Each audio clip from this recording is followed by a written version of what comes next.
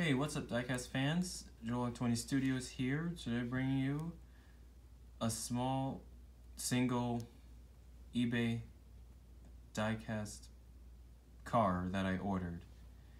Yeah, I've I haven't really been uploading many diecast videos lately because, well, I've been busy with school and um, pretty broke. I mean, my next paycheck doesn't come until next week, so hopefully if it comes up, if my next paycheck comes up to 300 to 320, I'll be diecast hunting on eBay a lot more often now.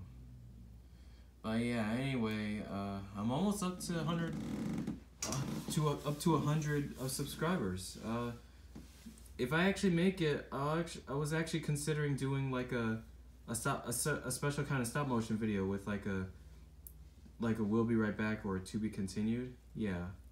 I was taking that idea into consideration, but let me guys know in the comments if you guys want to try to see that. I mean, of course, it's going to be short, so uh, just request if you want to want to see something like that. Anyway, enough about that. Let's just go ahead and open up this card and show you what I got from eBay.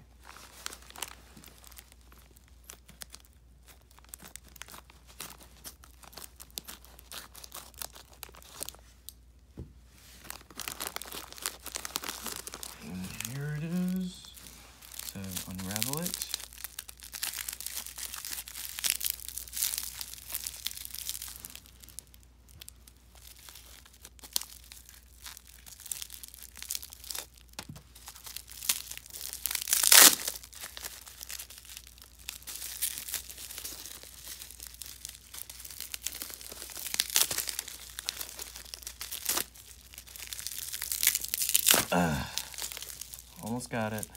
Yeah, as you can see, it's a red car. Okay, here it is. This is the Jaguar XJ6 from Matchbox. As you can see, the doors, they can open up. Mm -hmm. Back. The interior, the steering wheel is actually on the right side this time. Here's the underside for it. It was made in Macau. But yeah.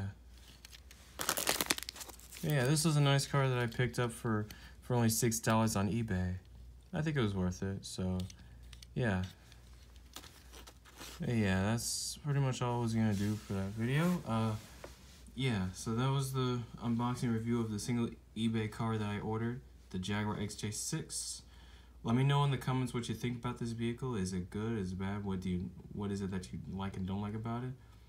And uh, I'll as soon I'll probably be diecast, um, eBay diecast hunting a lot more. So uh, yeah, if you guys enjoyed this video, be sure to leave a like, comment as well, and subscribe and click the bell. And uh, I'll see you guys next time. See you.